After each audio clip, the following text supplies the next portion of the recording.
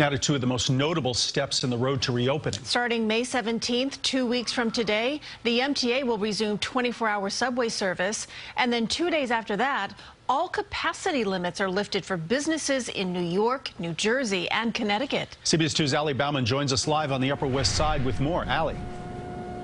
Dick and Christine, the three governors say because our vaccination rates are increasing and our hospitalizations are decreasing, this summer may actually feel somewhat normal. Even the subway will finally resume full service. But keeping all these places clean and safe is not so simple.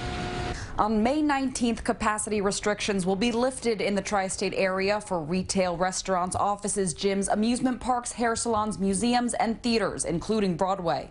We are very, very excited because it's about time just to get back in our feet. There are caveats. Businesses will still be required to guarantee that unvaccinated people can keep six feet apart. We have not been able to increase inside because of the six feet social distancing rules. The announcement comes on the same day 80,000 city workers returned to their in-person jobs after more than a year of working from home. Many had spent days rallying, wanting to push the start date back to September. Others just trying to ease into the process again. I woke up pretty early um, just to put makeup on for the first time in a year and a half. 24-7 subway service in New York City will resume May 17th after being reduced last year for added cleaning. It affects me when I'm working late and I have nowhere to get home other than taking three buses. The MTA says they will continue cleaning every day, but cannot promise enough space for social distancing, so masks remain a requirement. As for any riders who feel unsafe, the governor had this to say.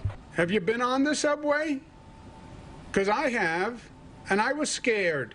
Yeah, I'm not telling my child to ride the subway. We can't turn the subway system back into a mobile, running homeless system. The MTA has been asking the city for more police and outreach support, but Mayor de Blasio insists it's under control. It really comes down to a lot of outreach at the right places at the right times, and we'll certainly be ready for that. I've pushed all of the MTA police into the subway system.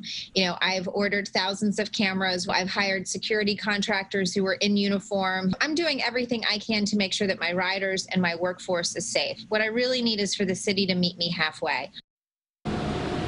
As for that six foot rule for unvaccinated people, both Governors Cuomo and Murphy say if the CDC changes its guidance, so too will New York and New Jersey.